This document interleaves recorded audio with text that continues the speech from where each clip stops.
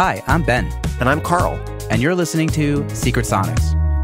Honest conversations chock full of tactical advice to help you build your dream career in music and audio. Whether it's skill development, mixing mindsets, personal branding, or work life balance, we talk about ways to help set yourself up for success in the ever changing music industry. Let's get started. Hello, and welcome back to Secret Sonics. You're doing it wrong. I know, I know. That was on purpose, though. It's gonna be, hi Ben. Hi, Carl.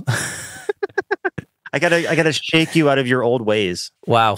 Uh, how you doing, Carl? How's it going? I'm good. It has been very cold here. We were talking about this before we hit record. We got some snow, not a crazy amount of snow here in Pennsylvania, but enough snow and cold enough temperatures that we had a snow day yesterday. So my daughter was home and going stir crazy all day and had a two hour delay this morning. So my whole week is all garbled up, but Oh, man.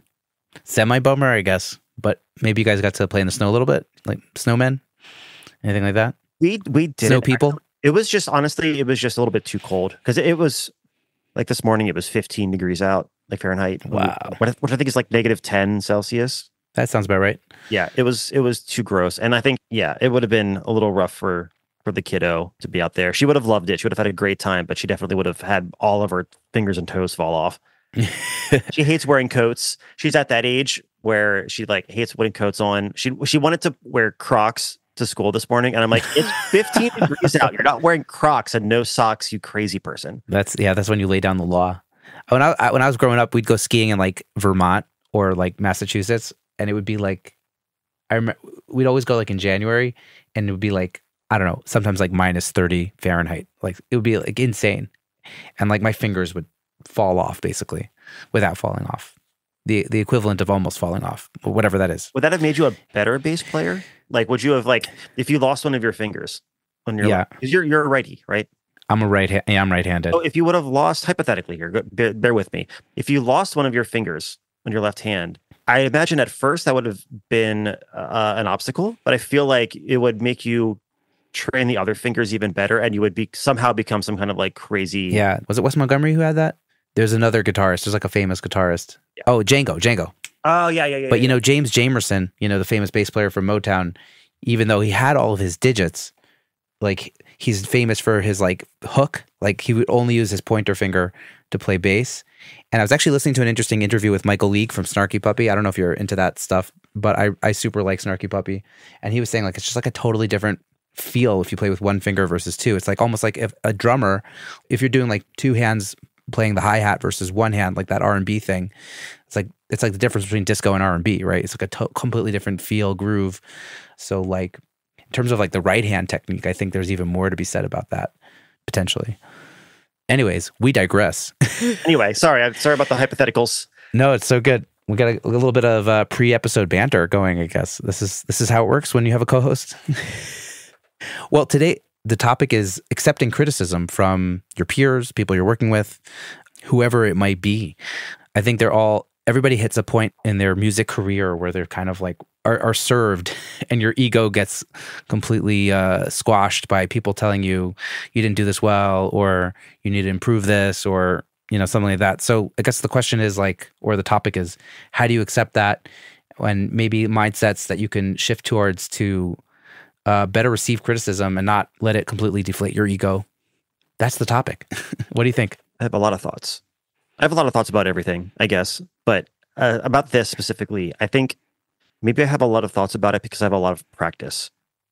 yes when I say being criticized, that has a bit of a negative connotation that I don't think we're we're talking about, right?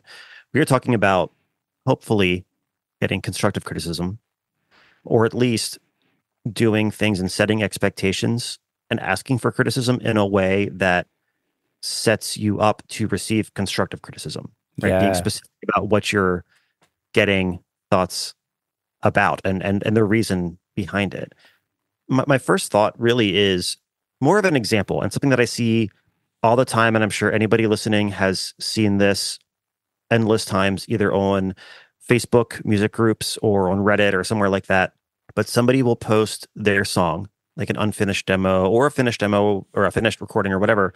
And they'll just post a link to it and say, Hey, here's a song I'm working on. Let me know what you think. And unsurprisingly, people will either just say that's cool and have it be a completely meaningless response. Response. Yeah. Or they'll point out a whole bunch of Rip, things they them, know rip them to pieces, rip them to shreds. Yeah. but but none of it is beneficial. And the reason that I say that it's not beneficial is even if the person giving the criticism is well intended and educated and like giving thoughtful things that he he or she thinks will make it better, if they don't know the context of what the goal of that song is or what stage it's in and why that person is looking for a response and, and for feedback, then their response is irrelevant. You know, e- even well intended constructive criticism is irrelevant if it's given without understanding the deeper context of why the person is asking for the criticism in the first place. Yeah. It seems like also just like a crazy move to kind of just like throw your work up there for people to just scrutinize without any context, without any like, you know, it's like, what? Why would you do that? Like, I, I mean, not to be too harsh on this person, but probably better to choose wisely who you want to share it with. Hopefully, I mean, maybe they don't have a circle of people that they trust to to share this with, which might be another issue and something to think about. But like building a building a little cohort of friends, uh, peers that can help you like listen to your music would be a better way to go about doing that. I think than just putting things up there on a on a big Facebook group. You know, I agree fully, and I think what I've seen is that the people that do that are generally pretty green, right? They're pretty pretty new to it, and I think what it is is they haven't had enough experiences getting burned by people. criticism. Yeah, you know, I think that's it. I think they just haven't had that experience yet, so they don't understand the value of building that team or that that circle of people that you trust. I, I don't know how how connected this is to the original topic, but something I'd I look at as an extension of the topic of receiving criticism.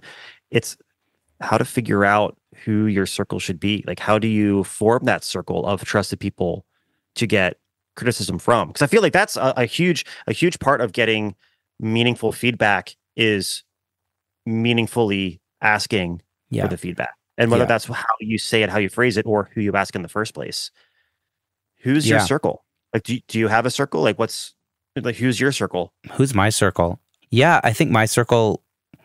I'll t- I'll tell you. I mean, at this point, I really rely on my mastering engineer to kind of give me mixed feedback because I feel like that's kind of the the point where I lose my objectivity. And thankfully, my mastering engineer is there to kind of, you know, say, "Oh no, you it's great," or "Yeah, maybe you could do this with the kick drum a little bit," or or whatever it is. And that kind of gives me that kind of like, oh, takes me out of like you know the trees and back to the forest sort of moment. So for me, that's a big part of it. And also, you know, friends. I have like cohorts here also in Jerusalem that I'll share music with. And uh, through the podcast, I've met some wonderful people that I'm in touch with and will randomly share stuff with, and they'll share stuff with me. And I also have people that ask me for questions and send me send me music, and it's usually people that are either peers or a little bit below, a couple rungs below me in this in this journey of music and audio.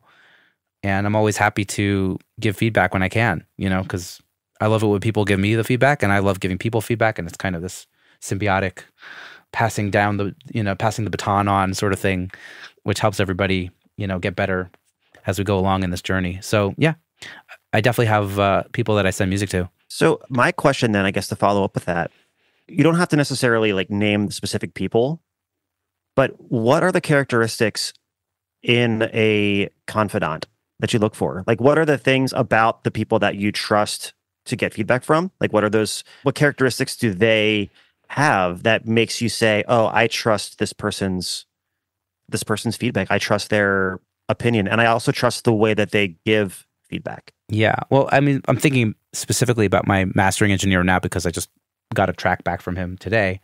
And shout out to Connor. Yeah, I just like I I know he's listened to more music than I than I have, or he's listening to more music on a daily basis than me because he's a mastering engineer. And I'm working on one song while he's doing like 10, you know? And he's just objective. He doesn't he's not invested in, you know, the project until that moment. He's kind of coming at it with totally fresh ears and with that experience of listening to lots of music. So that really helps me get confidence.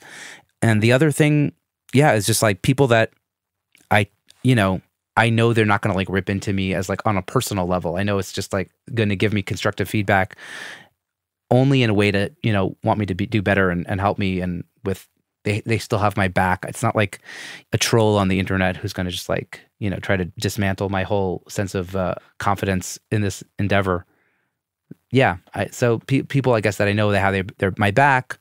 I know I could rely on them for actual, real feedback, constructive feedback, and also like that's coming from a place of goodwill and not you know malice, so to speak. How about you, Carl? Uh, well, I'd have to say, I'd to say that my mastering engineer gives me really great feedback. Is you know not me being very novel here, you know, because Yeah. I'm just I'm not trying not to steal your answer, but it's a good know, uh, answer. yeah, friend of the show, Nicholas De Lorenzo. you know, he's actually the person that put us in touch. I think he's our connector, and I think he is. And we and Carl, we met. My my wife wanted me to bring this up that we actually met through the podcast. It's crazy that like you're the co-host and like we only met because of this podcast.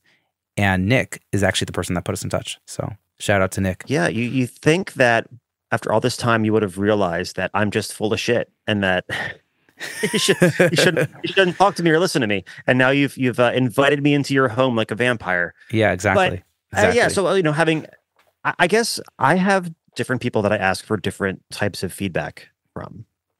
So yeah, like Nicholas, like I'll ask him for the you know pre-mastering mix feedback, and it's usually very specific and very technical, right? Like it's like you know, do a high pass at 26 hertz with a 6 dB shelf on the kick drum, like those those kind of notes wow.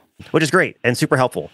But also, there are people that I try to just get, you know, either mix notes about or just general, like, you know, this style more than I do. Like, what sticks out as weird, Yeah. you know, like what, what, what feels authentic and what doesn't feel authentic. And then I have to ask myself to, like, okay, if something doesn't feel authentic to that style, is that an artistic choice or is that something that I need to fix and do better? Nice. Right? Is that is that a quirk about the artist and the song, where they're trying to tie in other genre influences, or is it something that I just missed the mark on? I also sometimes I haven't done this as much recently, but for a long time, especially when I was kind of getting started, I would also ask people that I knew didn't know anything about production of music Mm. because I would just want them to give me their thoughts as a listener. Like, was anything distracting? Like, did anything stick out to them? Because if something sticks out to someone that doesn't know production, Yeah. you know, there's there's an issue. So that there is value in that too. I know Yeah. my wife, I love her dearly, but she used to just get so frustrated and like, not frustrated. She'd get annoyed with me for always wanting her to listen to songs that I worked on because I, you know, I'm into high energy electronic pop, you know, and pop adjacent stuff. If she could just listen to nothing but Bob Dylan and the band I love it. and nothing after like 1978, My guess was going to be James Taylor based on how you set that up, but in the ballpark, I Uh, guess. not as not as much, but I but yeah, but if, if we so yeah, musically, like she doesn't naturally enjoy the kind of music that I make anyway, Mhm. which is fine. And it's that's that's great. Um, but because of that, it's you know, she doesn't know anything about production and also doesn't really know anything about the styles either. So as Yeah. a listener, she you know super, doesn't super like, yeah, ob- objective because she doesn't have any, you know, yeah, she ha- she has no doesn't have the Opinion. knowledge, insight, uh, you know, predisposed uh, disposition to like or dislike something based on something. I'm not making any sense. I'm sort of rambling, but no no no. no I think no. you understand what I'm saying. totally totally. Hey everyone, friend of the podcast and Grammy nominated engineer slash mixer Travis Ference hosts Progressions Success in the Music Industry. It's a podcast exploring creativity, productivity, and growth in music. Travis has set out to document his own journey and bring those valuable lessons to you to apply to your own career. Join in each week for conversations with some of the industry's best and brightest about the mindsets and strategies that they use in their careers every day. Whether you're feeling stuck, digging for inspiration, or just looking for a mix tip, Progressions is probably for you. Go check it out wherever you get your podcasts or click the link in the show notes.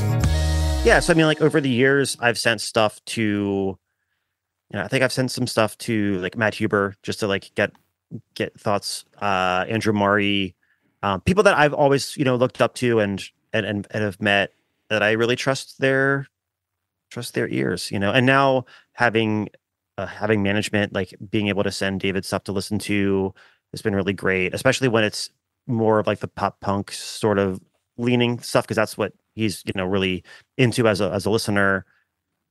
Yeah, so so depending on the style that I'm working on, depending on the artist, I might have different people that I'll ship it off to and ask their thoughts. But yeah, either way, it's the, the same kind of characteristics, like you were saying, where it's a person that I know is going to listen and listen with care and is aware of why I'm asking them in the first place. yeah, that's great. Which comes down to me being selective about who I send it to, but also me being selective about how I present it and not just say, Hey, here's a song. Can you tell me what you think? It's like, Hey, this this mix is like 99% there. I feel like something might be off, but I can't tell what. And I think I've just heard it too many times. Is there anything that's like jumping out at you as objectively weird? Or are there any things that, that are like subjectively weird that you feel might may or may not be working? You know, but like giving that or saying, hey, this is like not mixed yet. This is an early production, but I just feel like the bridge is unnecessary do you think this is potential or do you think that I'm i should right. just make yeah. it short and sweet you know yeah yeah i think the the more practice you get at asking for specific criticism and, and providing context and the more experience you get at getting unhelpful criticism i think the, the combination of those two things i think is what's going to really help to train you to be able to not just get feedback more constructively and be able to take it better, but also, like you were saying, giving the feedback and giving the criticism yeah. in a much more constructive way. Yeah. It's making me think of, I had an experience over the summer. I was mixing a record and I had, I have a friend whose parents live in my neighborhood and he was like visiting and he came just to hang out. I was like, oh, check out this mix I'm working on. And he's like, oh, that's cool. That's cool. And then like once the vocal started, he's like, I'm out. I was like, oh, what was, what was it? We were basically struggling to get this, this song to work and it was like a New Orleans kind of uh, kind of a vibe.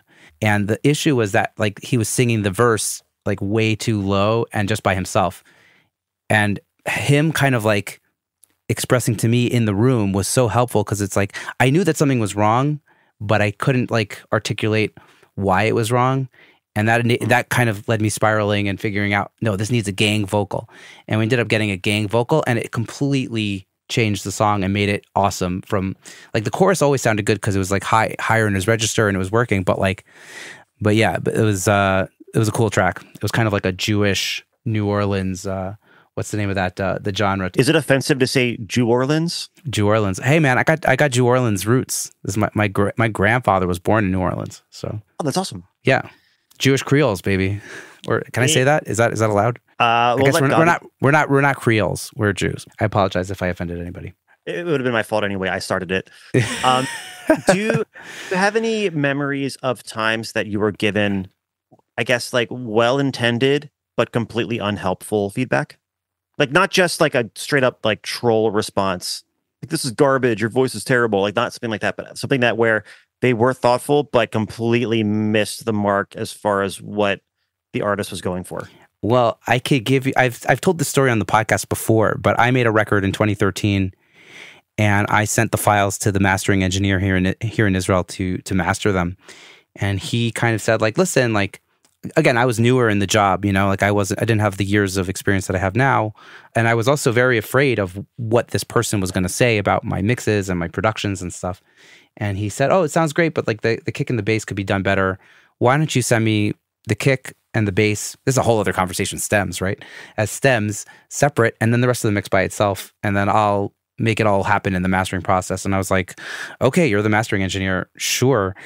And I sent them, I sent him all the stuff, and then what he sent me back was just completely not what I wanted. And you know, in retrospect, he made it punchier and stuff like that, but that's not the vibe I was going for. I was going for a big, I was going for like warm and kind of tubby low end, not not sort of punchy clicky low, you know, kicks kind of stuff. And he just he was trying to be helpful and he made a great point about my mixing, which was not up to par. But nevertheless, it was now a record that I didn't want and that I didn't intend to make because he had asked for that kind of the the, the stems of the bass and the kick separate from the rest of the mix. And like I already knew at that time, like, oh, they're all going into the same bus compressor, you know, maybe this will change things or whatever. But I I wasn't aware that it would just change like the entire tone of the record to that extent. And I was like super disappointed. And we ended up just using my mixes. I went back, I sat with him, we mastered it.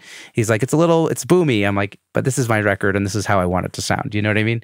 And I had to go with my my internal comp- compass there. And uh, that was a really big learning moment for me on so many levels because I bought Bob Katz's mastering book. I learned all about it.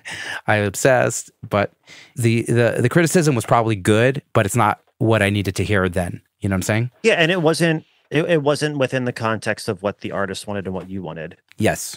Well, I was the artist. Yeah. oh, it was like your solo. It was actually like yeah, a solo record of mine. Yeah, yeah. So don't it- listen to it.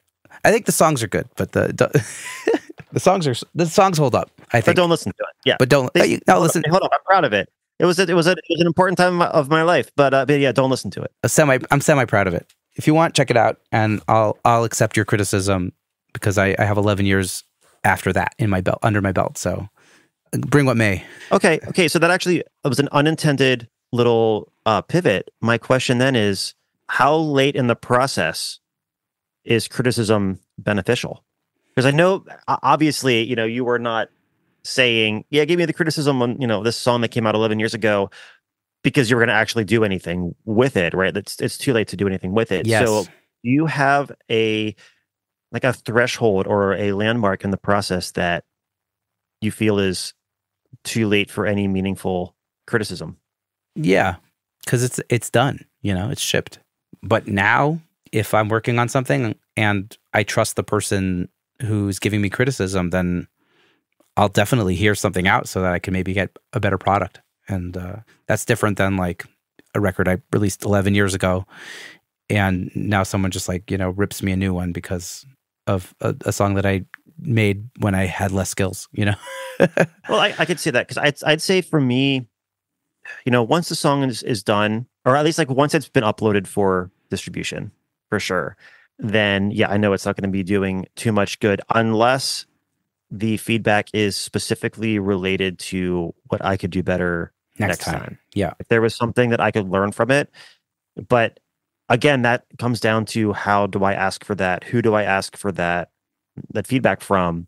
Do you, and how do I explain to them that hey, this is done. This is going to be released, you know, in in six weeks, whatever. But if there are things that you think I could do better, I'd love to hear what your thoughts are. Some of them maybe I could have done better. Uh, Some of the things may have been an artistic choice that you know the the artist wanted the bass to Mhm. be as loud as it is, even though I didn't agree with it. And I, you know, I made my argument, but they, you know, it's their song and they, they kind Yes. of can veto that, Of course. you know. So if, you know, when they tell me that the bass was too loud, I could be like, thank you, I'm not crazy, you know, but at the same time, like that wouldn't affect my choices in the future. right. It's so, so do you, who, who do you ask? Do you have anybody that you ask for feedback from after a song is done? Yeah. So at that point, I think I'm asking friends, like my bandmates, you know, people that like I trust their taste, just to kind of say like, "Hey, did we do a good job on this?" You know, and I usually can tell before I, show it to them if they're going to like it or not based on how well I know their, you know, their tastes or whatever. And maybe that's like even a good indicator. It's like drawing your. I was thinking about this as we were talking, like having like your friend avatar like listening over your shoulder while you're recording or mixing or something. Be like, you know, would my buddy like Dan think this is cool? You know, like he probably would. Let's let's keep going. You know, or like ah, this is lame. Let's let's let's start over. You know, that could be like a cool idea to think about while you're working on a song. But yeah, like I, I kind of can already tell before I, sh- I show these friends what they're going to think about it. You know, I'll I'll show it to them knowing they're going to like it. You know, or or the other way around. If I if I know they're not going to like it, I probably wouldn't show them because it, it wouldn't be very helpful or meaningful. But just to like give me like a, a boost of confidence, almost to be like, you're doing good work. Like keep at it. How about you? Well, I was going to say, I want to follow up on that and ask you then how much of an influence, like if you were to take, you know, if you if you were to ask yourself, I wonder what Dan thinks of this, would Dan like this? How do we balance what we think is right versus what we think the artist wants versus what we think, you know, the end listener wants? I know it's that's kind of a big rhetorical question, but you did bring up that that idea of like you know having these other people's opinions in mind when making decisions and i'm curious I would say tastes.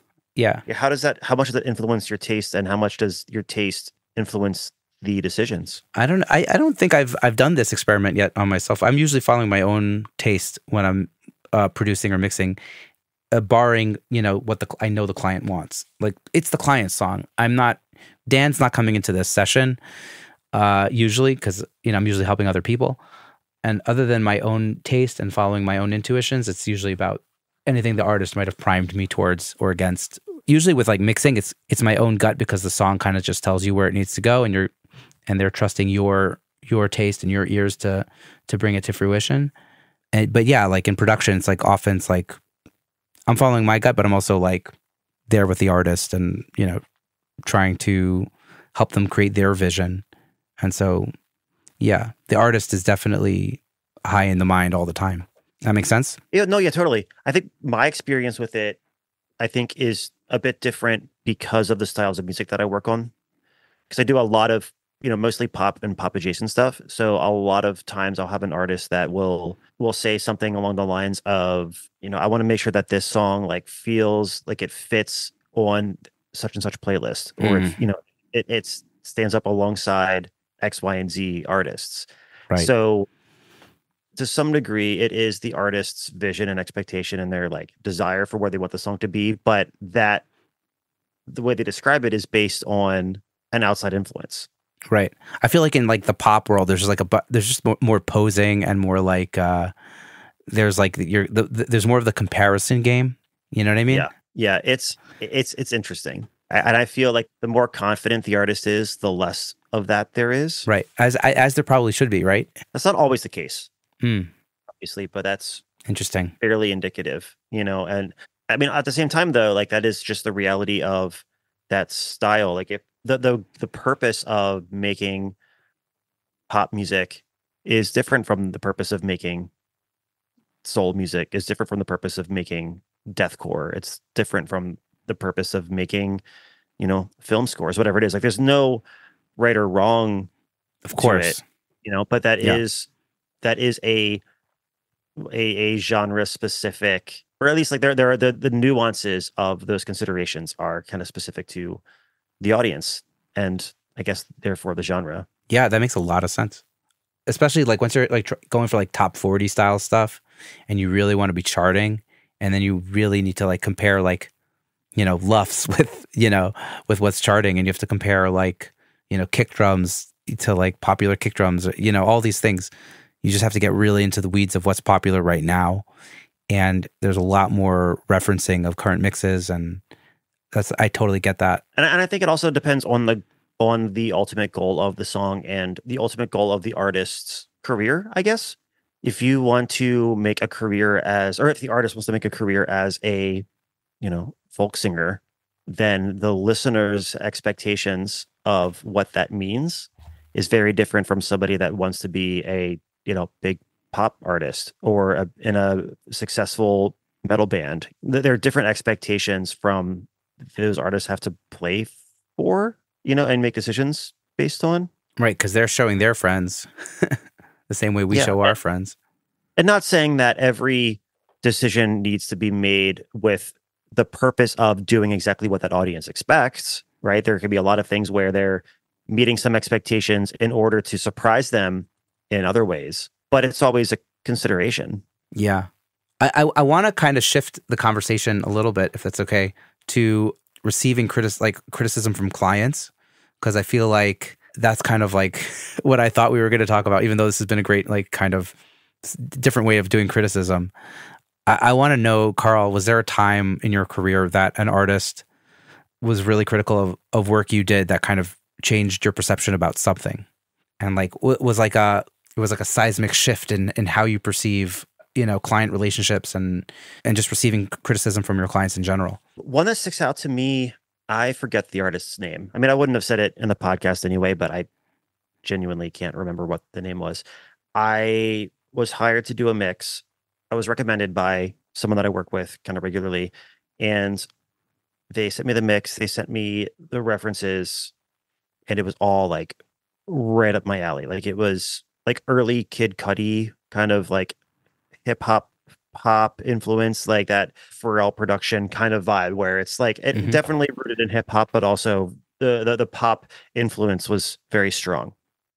And I was like, this is exactly I I know exactly where this wants to go. Like based on everything I'm I'm hearing, this is exactly what I I I, I know where this is going to go. you follow the music Follow the music. It was one of the most proud mixes I've ever done. I sent it to him, and the list of revisions was three pages long. And I would say, I don't want to say that all of them I disagreed with, but I would say uh, conservatively, probably 80% of the notes I thought were actively going to make the song worse.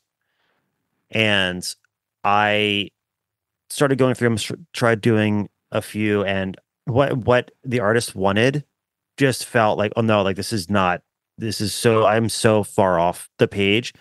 I just responded and said, Hey, I don't think I'm the right person for this. I feel like I don't agree with these notes. I'm just going to send you your deposit back because I feel like you should find, you know, find somebody else that I think is sufficient because what I thought you wanted is very different than what you're telling me now. And I, I just was like, I'll, I'll take responsibility for it. Here's your money. Like, I don't, yeah. I'm not going to be a, a jerk and fight about That's it. The upstanding, also, the upstanding method. no, but also it, like it, it wasn't something where he gave a bunch of notes. They were right. They were just a lot of notes. Like when so many of them I thought were actively making the song, like getting in the way of what I thought was an incredible song. And I, I, I just had to to do that. That that was, I think, the seismic event of that wasn't like a negative feeling, but it made me realize that I need to dig even deeper and making sure that I really understand what the vision is. And that was that was a moment that kind of sparked me to consistently ask more and more and more and more questions uh, for every potential client. Like I ask a ridiculous amount of questions, and I, you know what, I have no regrets about about that because it it is so worth it in the long run, rather than just salivating because a client wants to work with me. Like, of course, I'm just going to say yes and make it work. Like that. That those days are are are long gone. But that was a, that was a big shift for me, and it wasn't a matter of getting you know hurt by the criticism. It was more of a realization that my understanding of what the expectations were and what the goal was was so far off, and yeah. I have no one to blame but myself. That's crazy. I feel like that's like totally a really great takeaway from that uh, interaction. I'm curious why you didn't ask this client like for that information after that mix, as opposed to saying, forget these these notes. You know, like I think I missed the ball. You know, on what you're actually going for. Maybe let's talk about like what you're actually going for, and maybe I could reapproach it. If I remember correctly, I did. Like I tried to like have that conversation, but it just seemed like if I remember correctly, to actually no, you know, no, no, no, no, no, it's all coming back. That therapy right here. yeah, no, I, I I forgot about this. So no, no. So the the thing that made me go that route was that it was also very I want to say ag- aggressive isn't the right word, but like yeah, it wasn't presented in a in a positive light. Like, hey, like here, you know, here's a, a bunch of things that I think could make this that are going to get it closer to my vision. It was like, this is wrong, this is wrong, this is wrong, this is bad. Like it was just like the way it was presented that I also didn't want to just deal with that kind of a person. Understood. I think yeah. that was that was I, I kind of forgot. Maybe I just you know repressed that into the back of my brain. But yeah, I think that, that I think that was why I was just like, nope, here's your money. And and that it took a long time for me to be able to to take the high road. I can't remember any at the moment that I of times where I didn't take the high road, but I'm sure there were countless times where I just got upset and offended and either I don't think I ever really responded back negatively. I, my tendency is more so like self-loathing and just thinking that I'm shit yeah. at thing or whatever, and thinking that like it's all my fault and that I'm hopeless and I should I should quit. You know, that's that's more my instinct than to get up in arms and get get pissy with with them. Same, by the way. Yeah, you don't you don't strike me as the get angry type. Yeah, well, I, I, I think I, I kind of learned a lot of these lessons, and this is coming something I was thinking to talk about when we started this podcast episode was I learned a lot of these lessons in a band. You know what I mean? Like with other musicians and and taking tough criticism from bandmates, like not even necessarily in the studio, like just like how I'm playing or or business decisions from the band and stuff like that. And just like, you know, being put in my place a couple of times, you know, really caused me to kind of realize that it's not it's not like a personal offense. It's just like trying to make the whole thing better and that slowly growing thick skin because of those interactions and and, and that thing. And th- now it doesn't mean that you you want to build up such thick skin that you become you know lifeless and don't uh, don't have feelings. But I think when you start to receive criticism, like you're playing too, you're being too busy, or you just have to work on your rhythm a little bit more. Like you got to tighten up, whatever whatever it is that the criticism might have been. When you get enough of that stuff and you internalize, like, hey, we're just trying to make everything better. This is like a team project, and you're an integral part of that project, and you improving improves everybody. Over time, you kind of like learn that hey, this is for everyone's own own good, and it's not a personal affront, you know. And so, like getting reps of receiving criticism and building up that thick skin has like enabled me to kind of like in the studio almost always just be like, okay, like how can we get to your vision faster? I, I like being open to criticism, being open open to mixed revisions. That's been like a big part of how we work. It's just like, great, mixed revisions are great. We're gonna make your song better, you know. I've maybe taken the low road or felt like taking the low road a couple times, but it usually wasn't because of like criticism of how I was working. It was usually because of other extraneous issues.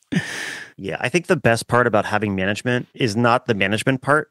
It's that if I want to complain and just be a grumpy asshole, I can just call David yeah. and be like, oh, you know, and I can I can take the low road with him Right. you know? I love that. He's like, uh, you know, he and he can, I can commiserate, and he can be like, okay, and then I'll be able to like, I get it all out of my system, and then we can respond in a yeah in a high road fashion. That's also something that friends can be for, right there for you, right? Like, you can like bitch to your friends, right? Like, get a beer with your best friend and like complain about your your stupid clients but don't but don't bitch to your clients yeah i it, it was funny you say that because right before we got on this call my good friend and I believe friend of the show also, Lucas Gino. Um, hey, yes, for sure. And like right before we, we were going to get off the phone, he was like, "Oh, you know, before we go, anything you want to bitch about? Like any any uh anything any anything you want to get off your chest? You need to commiserate about? Like I'm I'm all I'm all ears. you know, so like you're right. Like having friends that also get it and know that when you say it, it's just venting steam, not how you actually actually feel so I'd say at this at this point in our lives, we're pretty good at at receiving criticism. I guess overall, right? I guess being married has a has a hand in that. But I'm ching marriage joke. No, um, in, in all seriousness, though, I think like you know, getting older, having more experience, having more people in your life that are that feel comfortable giving you criticism. you know, I think that that does that does help. Whether um, it's your wife or anyone else. Yeah. yeah. I think I think we uh, we started this this conversation. You said something about putting in the like about like just experience with it, and I think that's really that's really it. You're going to have to if you're going to be a professional, you have to become comfortable with receiving criticism. Not everyone's going to like everything you do, and that doesn't. It's not a personal affront. It's just specific to that artist slash client's work, and you're there to facilitate that and like get over it internalize it and make better work because of that. You know what I mean? Like, I don't, I don't know. In summary. yeah, no, I fully agree. I fully agree. It's, it comes down to a question of are these criticisms a reflection of me as a person or just in technical choices or creative choices that I've made? Right. And when you look at it that way and you can separate that, that enables you to build uh, to build those calluses. Because if you think that it's a reflection on me as a person, that's a dangerous way to be. Yeah. But when you look at it as, oh, this is just a, a, criticism of the choice that I made, the decision that I made, then you can separate it from your your being, from your your person, and learn from it. Yeah, I, I think also because a lot of us who are in audio come from a musical background, I think music often gets tied up with self identification, and then when someone criticizes like work in music that we did, we just immediately say like, "Oh, I am shit." You know, it becomes personalized so quickly, and then you just need to like do enough work to realize that it's not. yeah, it's it's like the music will always be an expression of you, but it's an expression of that moment. It's not an expression of the totality of you. Right. And I think that's a really important Love thing that. to come to terms with. Right music is so transitory anyways right it's like a it's a time-based art form so amazing uh any any closing words before we wrap this episode it's great i think your podcasting skills are shit if they were so shit, then why did you join me on this show? to fix you, Ben. I'm here to I'm here to fix you. Carl the Fixer. All right, love it. No, no, no. Um, no, I, I, I, I'm just. I'll close the episode by just saying I'm so, so happy to have these conversations. This is so much fun, and I'm still so thankful that you want to be to be a part of this in the first place. Aw, I'm I'm so glad that you decided to to join me on this venture. It's been fun, and it will continue to be fun. Right? It, it better, or I'm It- out. It had better. Yeah, or I'm out also. Bye, Ben. Bye, Carl. We hope you enjoyed this conversation as much as we did. If anything here resonated with you, please share this or your favorite episode with a friend. And as always, we love to hear from our listeners. So find us on social media at Secret Sonics At Ben Wallick Music. and at Carl Bahner. Until next time, bye, Ben. Bye, Carl. that was good. I think the outro was great.